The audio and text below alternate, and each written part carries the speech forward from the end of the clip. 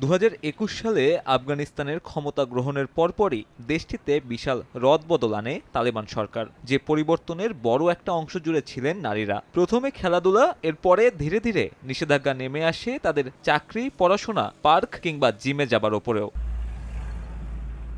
সম্প্রতি তালেবান সরকার দেশটির নারীদের জন্য সর্বোচ্চ পঞ্চম শ্রেণি পর্যন্ত শিক্ষা গ্রহণের অদ্ভুত এক নিয়ম আরোপ করেছে, যা কিনা নতুন করে তুমুল সমালোচনার সৃষ্টি করেছে আন্তর্জাতিক অঙ্গনে।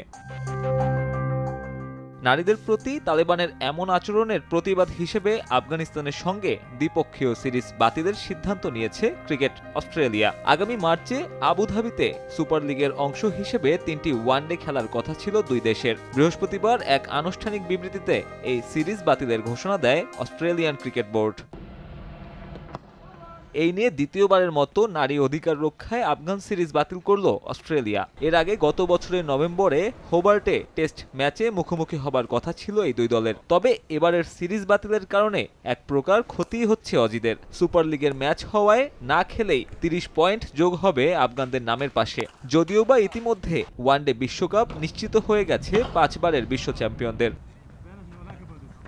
কেবল এখানেই নয়, আগামী মার্চে আইসিসির সভায় আফগান ক্রিকেটের জন্য আসতে পারে আরও ভয়াবহ সিদ্ধান্ত। একমাত্র পূর্ণ সদস্য দেশ হিসেবে তাদেরই কেবল নেই নারী জাতীয় দল। ফলে ক্রিকেটের সর্বোচ্চ নিয়ন্ত্রক সংস্থাটির এই পূর্ণ সদস্য পদ হারাতে পারেন রশিদ খানরা।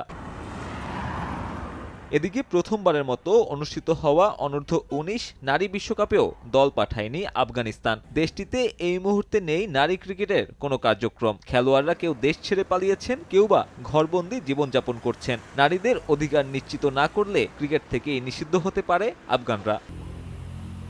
সাব্বির মিথুন, সময় সংবাদ।